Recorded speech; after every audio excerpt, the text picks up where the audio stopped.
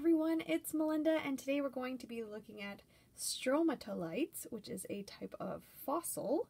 Really, really wicked cool types of fossils. um, yeah, so the first specimen I'm going to start showing you is this beauty right here. Um, so labeled stromatolites fossil algae. Uh, roughly 145 to 165 million years old. And this particular specimen is from uh, Merzouga, Morocco. It is just too cool. I purchased it from one of my very favorite mineral sellers, uh, Novira Minerals, also known as Pretty Rocks Cheap on Etsy. Absolutely love every specimen I receive from them. One of my very favorite sellers for sure. Oh, this is just too cool. Look at this. Wicked. Uh, totally mind blowing. All right, let's get into it, folks. So, stromatolites or stromatoliths are layered sedimentary formations that are created by photosynthetic cyanobacteria.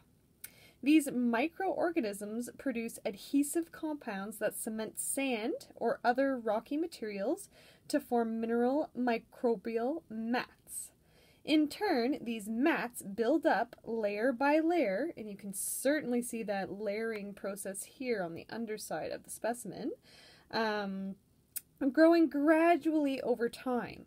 A stromatolite may grow to a meter or more, although they are uncommon today. Fossilized stromatolites provide records of ancient life on Earth. Uh, just absolutely too mind blowingly cool. Uh, so stromatolites exhibit a variety of forms and structures or morphologies, including conical, stratiform, branching, domal, and I would think this one would uh, fall under domal, uh, as well as columnar uh, types.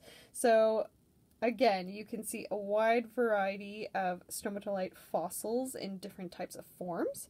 Uh, so stromatolites occur widely in the fossil record of the Precambrian, uh, but are rare today. Very few ancient stromatolites contain fossilized microbes. Absolutely cool. So let's do a little recap because they do tend to be uh, quite technical. So, stromatolites again are sometimes referred to as stromatoliths, and they are layered accretionary structures formed in shallow water by the trapping, binding, and cementation of sedimentary grains by biofilms of microorganisms, especially cyanobacteria, which is commonly known as blue-green algae. You've probably heard of blue-green algae before. Stromatolites provide some of the most ancient records of life on Earth by fossil remains, which date back more than 3.5 billion years ago. And again, this specimen I just showed you uh, is dated back uh, 145 to 165 million years, but they can go as far back as 3.5 billion years ago totally, totally mind blowing. Utterly fascinating. Um, so, the next specimens I want to show you and kind of discuss are these three here in the center, which are called um, Mary Ellen Jasper. That is kind of their.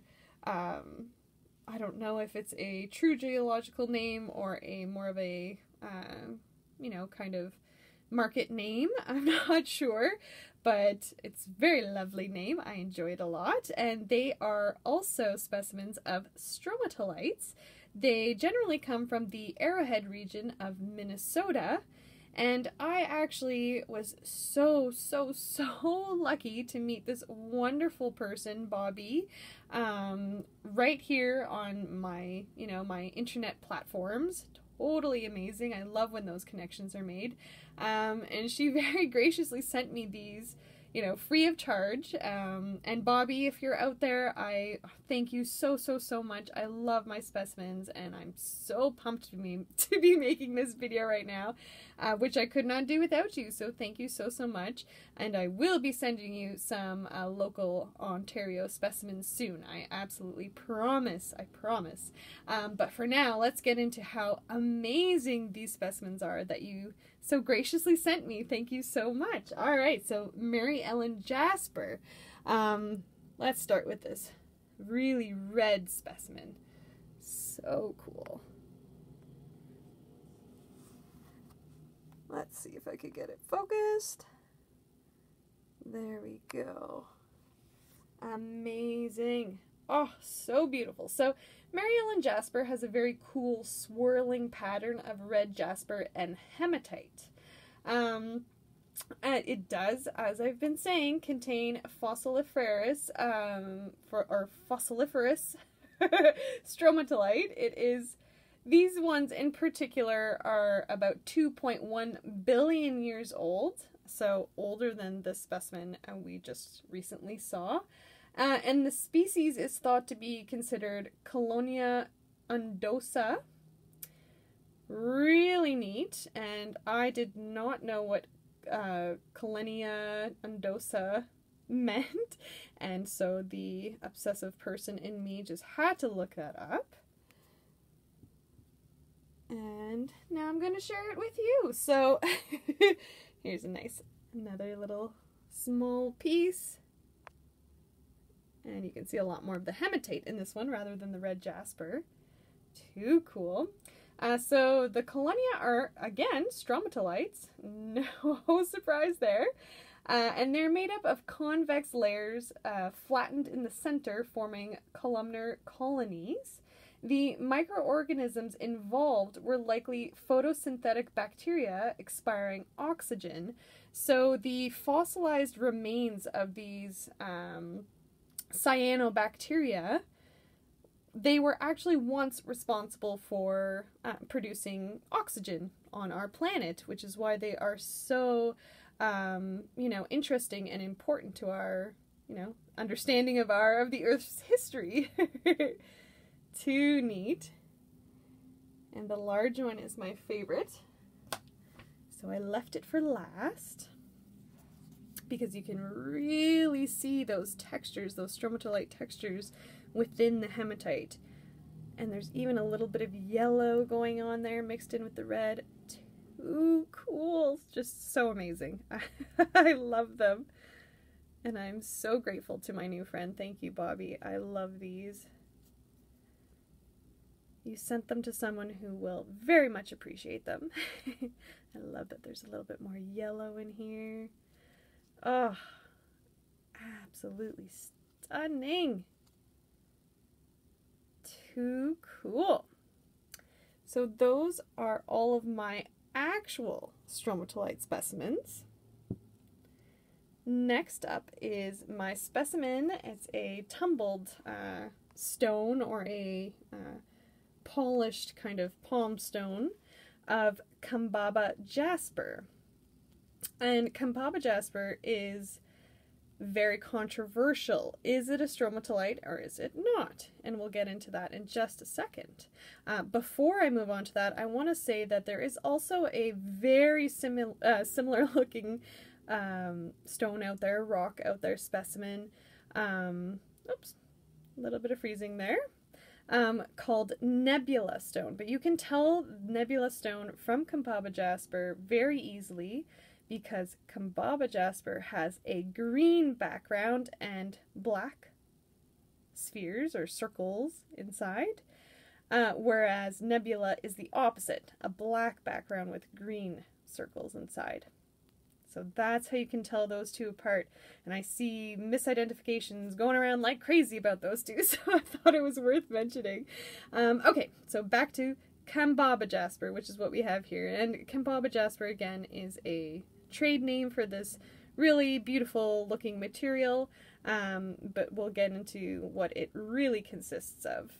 Um, so, Kambaba Jasper, the very um, popular common belief uh, is that it is a stromatolite jasper. Sometimes it is actually labeled green stromatolite jasper. Um, and again, that's because it's commonly thought to be an extremely old stone dating back to 3 billion years ago. Uh, these particular specimens are formed in Madagascar and South Africa only. And it is, again, it's believed to be a sedimentary stone consisting of microcrystalline quartz and a primordial form of blue green algae. Um, thus, you know, popular believed to be stromatolites. However, and the however is very important. Please don't stop watching at this point. This is the important part. Um, on Mindat, uh, there is reference made to mineral testing that was done at an institute in Germany. Uh, and the findings state that the greenish colored rock, the background here, consists of quartz, aegirine, albite, and K feldspar. The blackish rounded aggregates consist of needles of amphibole mineral, usually riebeckite to paragasite. Therefore, the most recent research uh, suggests that the structure of the specimen is due to a variety of minerals rather than stromatolite uh, fossils being included within its structure. So, um, again, you know, a lot of people who are more hardcore into the science geology aspect of mineral mineral collecting are very adamant about educating that these are not, in fact, stromatolites. Um, so, you know, I just thought I would include it in this video because they are so commonly believed to be stromatolites. Um, and I just thought it would be a good opportunity to kind of uh, present the research and, you know, discuss the controversy and, yeah, provide you guys with all the details you need to make up your own decision on the matter. yeah, there we go. Okay, so there are all of my stromatolite fossils, um, as well as a maybe mis commonly mislabeled stromatolite uh, stone called Kambaba jasper. I hope you enjoyed that as much as I did. Thank you so much for stopping by, guys. See you next time.